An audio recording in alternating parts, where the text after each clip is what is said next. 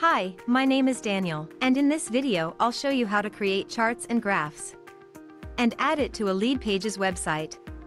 Let's get started.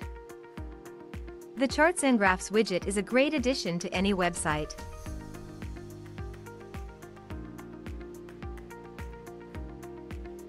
To start, enter Common Ninja website. Choose your widget from our large collection of widgets. And once you've entered the widget page, click on the Create button to enter the editor. Here, in the editor, you can edit the content.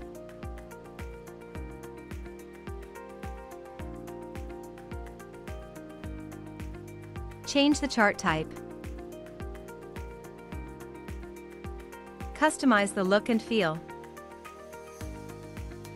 And change the settings.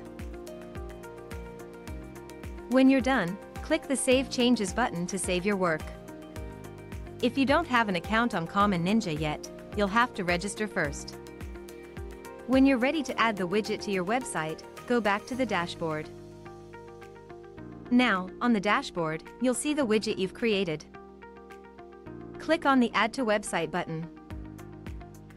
In the window that opens, copy the code. And close the window. Remember, you can always return to the widget and keep on editing it. Now, let's head to the lead pages editor. Please note, the widget's content will not show on the lead pages editor, but will only appear on the preview and on the published website.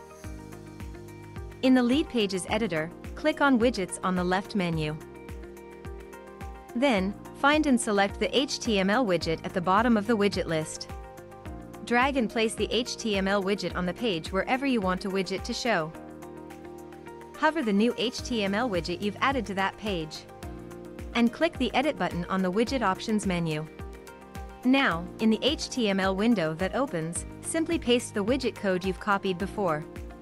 Click the Save button at the bottom of the HTML window to save the changes.